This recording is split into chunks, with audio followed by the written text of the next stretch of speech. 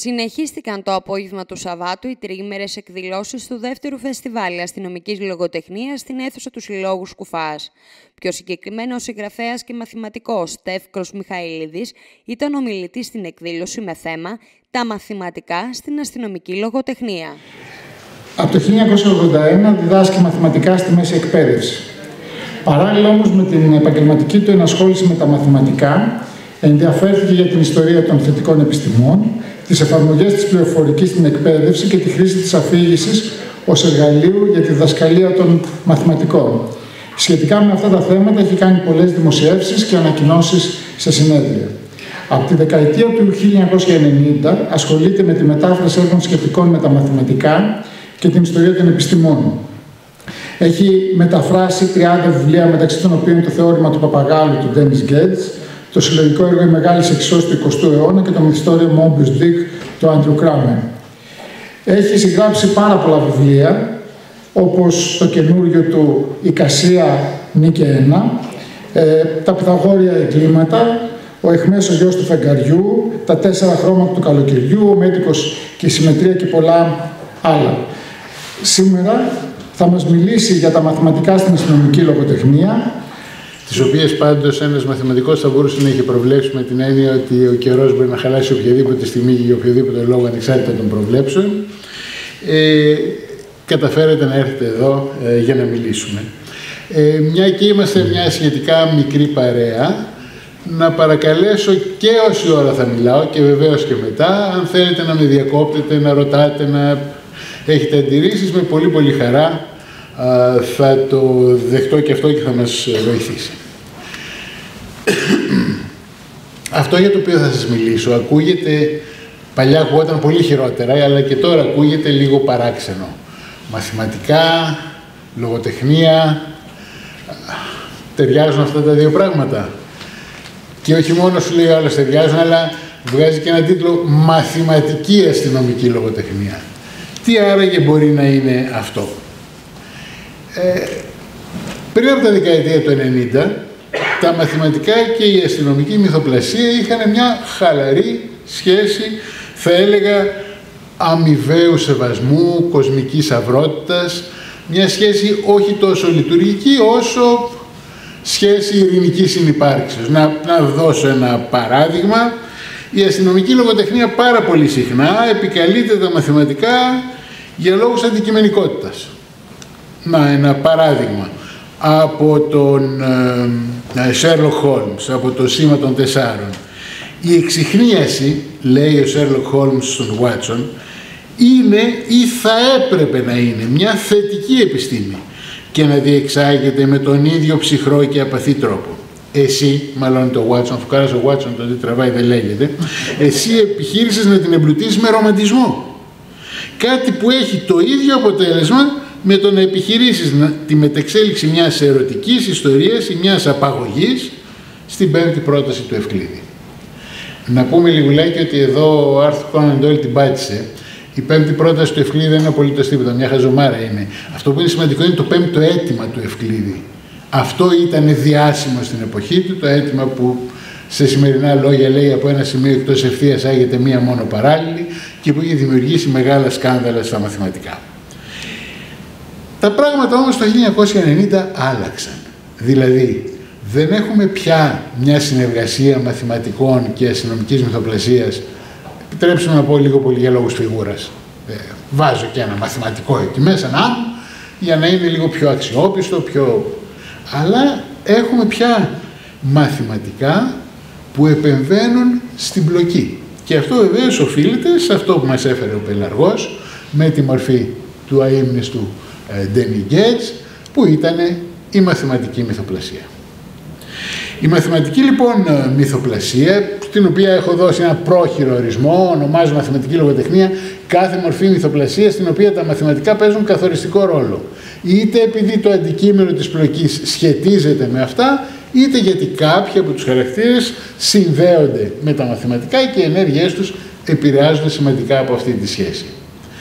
Ε, στη σύγχρονη εποχή την μαθηματική μυθοπλασία εγγενίασε ο Ντενί Γκέτς με το θεώρημα του Παπαγάλου. Ωστόσο υπάρχει μια βαθιά προϊστορία. Το 1884 ένας φωτισμένος δάσκαλος, ο Edwin Abbott Abbott, διευθυντής σε ένα σχολείο του Λονδίνου, έγραψε ένα βιβλιαράκι, τόσο δά, ε, με τον τίτλο «Επιπεδοχώρα». Εκεί λοιπόν έχουμε πραγματικά μια συνεργασία της μαθηματικής μυθοπλασίας με την, ε, μάλλον της μαθηματικής επιστήμης με την μυθοπλασία και είναι μια πάρα πάρα πάρα πολύ έξυπνη ε, συνεργασία. Γιατί; Είναι η εποχή τέλος του 19ου αιώνα που αρχίζουν να γίνονται κουβέντες για την τέταρτη διάσταση την οποία βεβαίως ο κόσμος δεν καταλαβαίνει γιατί στις τρεις διαστάσεις ζούμε και δεν μπορούμε να φανταστούμε κάτι απ' έξω. Τι επινοεί λοιπόν αυτός ο δαίμονας, αυτός ο δαιμόνιος δάσκαλος; Φτιάχνει ένα μυθιστόρημα στις δύο διαστάσεις. Σε ένα κόσμο, την Flatland, την επιπεδοχώρα, που λειτουργεί στις δύο διαστάσεις. Αυτοί οι άνθρωποι έχουν μπρος, πίσω, δεξιά, αριστερά, δεν έχουν πάνω κάτω, δεν ξέρουν τι θα πει πάνω κάτω.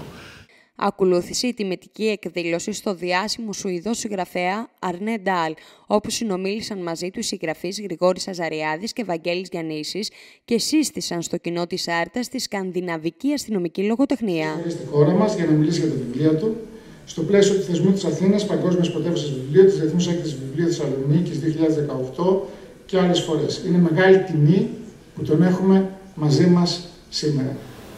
And they had their problems and they were really human beings and so on but they uh, you could trust them mm. you could trust them to do the right thing in a way uh, in, or at least be there and, and, discuss the moral questions with you as a reader uh, and that was something that I really did in the, in the beginning and then I realized that um, there is a lot of corruption also in, in the Swedish police and, and in the Swedish society, and, and, maybe they become different uh, as time went by a little bit. Ε, στην αρχή η πρώτη του σειρά ήταν ξανά με την ομάδα Α. Ε, και αυτό που προσπαθούσε να κάνει με αυτή τη σειρά ήταν ότι όλοι τους ήταν άνθρωποι με τις αδυναμίες τους και τα δικά τους τα προβλήματα ήταν όμω άνθρωποι τους οποίους μπορούσες να εμπιστευτείς, τους οποίους μπορούσες να βασιστείς πάνω ή ήξερες ότι τουλάχιστον θα ασχοληθούν με τα ηθικά διλήμματα. Ε, ωστόσο, αργότερα άρχισε να συνειδητοποιεί ότι η διαφθορά υπάρχει και στη Σουηδική αστυνομία, όπως υπάρχει και στην Σουηδική κοινωνία. So, to answer your question, uh, uh, almost. Yeah, I have a little bit left. um, um,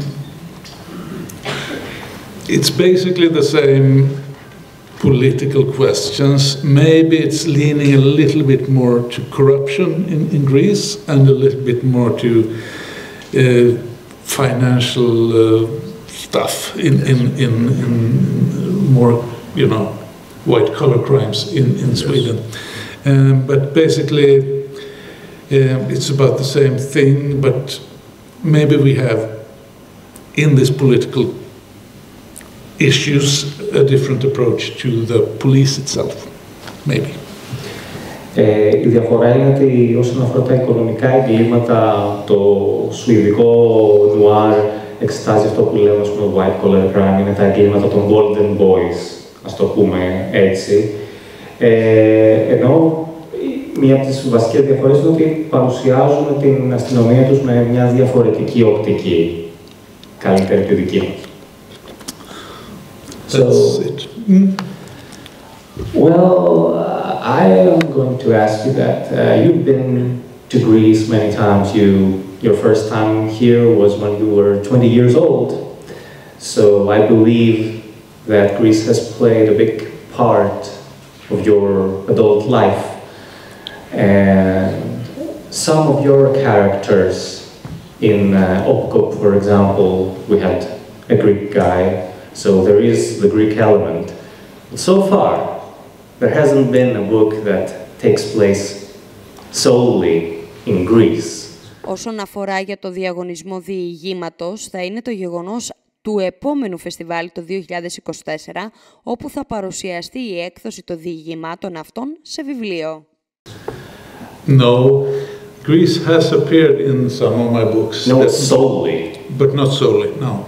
Is it something that you would consider or that you would uh, you have thought about writing a book that takes place only in Greece? Ε, ρωτάω ότι η Ελλάδα ε, είναι επισκέπτης της χώρας μας από το, τότε που ήταν 20. Ε, υπάρχει το ελληνικό στοιχείο στα βιβλία του, έχει χαρακτήρες ε, Έλληνες. Ε, κάποια βιβλία έχουν διαδραματιστεί εν μέρη στην Ελλάδα. Ρωτάω αν έχει σκεφτεί ή αν ε, σκοπεύει κάποια στιγμή να γράψει ένα βιβλίο το οποίο θα διαδραματίζεται μόνο στην Ελλάδα. Μόνο στην Ελλάδα. Um, I'm learning Greek. um, uh, the, yeah, well, the kind of impression you get when you're 20 and, and hopping from island to island isn't the deep view of a country, unfortunately, but it is a, a, a lasting view. You get to love this country, you get to love the nature, and you get to love the people, and you get to love the food. Uh, but you haven't started digging in the national uh, secrets yet. Uh, um, and that's if I was going to do this, which I am considering from time to time, uh, it would have to be somebody who comes from, like Sweden, and enters Greece and, and uh, begins to learn how it works. And then you could have some mm. criminality there. Uh, I couldn't do it from within because I don't know enough about Greek society. It's that simple. But it's not impossible. I would like to. Yeah, we can do it together. That's a good idea, yeah. ε, η, η εντύπωση που έχει ένας άνθρωπος, ένας νεαρός άνθρωπος 20 χρονών όταν πάει από νησί σε νησί, φυσικά δεν, ε, δεν μπορεί να τρυφήσει στην Ελλάδα και τον πολιτισμό της, ωστόσο είναι μια εντύπωση την οποία την κουβαλάει μέσα του ε, την κουβαλάει μέσα του, απλά δεν έχει μάθει όλα τα μυστικά της χώρας, οπότε άμα το έκανε κάποια στιγμή αυτό που το έχει σκεφτεί, ε, ο τρόπος που θα μπορούσε να το κάνει θα ήταν ένας ε, Σουηδός, ένας άνθρωπος από τη Σουηδία, να έρθει στην Ελλάδα και από εκεί να ξεκινήσει ιστορία με ένα έγκλημα. Τέλος, η Ένωση Αστυνομικών Υπαλλήλων Άρτας από τη θεατρική τους ομάδα υπόθεσης 19 παρουσίασαν στο κοινό κάποια αποσπάσματα από τη θεατρική τους παράσταση. Και τώρα, κυρίες και κύριοι, διαλέξτε.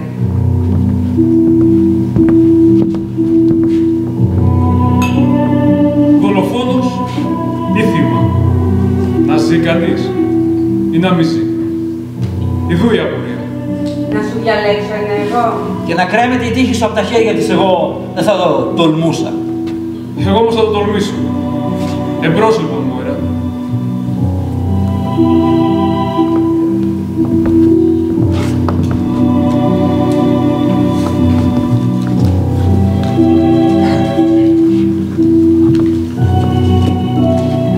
Μη! Δεν πρέπει να το χαλάσεις. Συγγνώμη, ξεχάστηκα. Για να δούμε τι αφήσατε για μένα. Λοιπόν, παιδιά, ποιος είναι το θύμα; Ε, παιδιά, το θύμα. Α, εγώ είμαι. Και γιατί δεν μας το λες, Πονήρη Αλεπού. Για να εντείνω το μυστήριο, φυσικά. Έχει γεια καημένε κόσμε.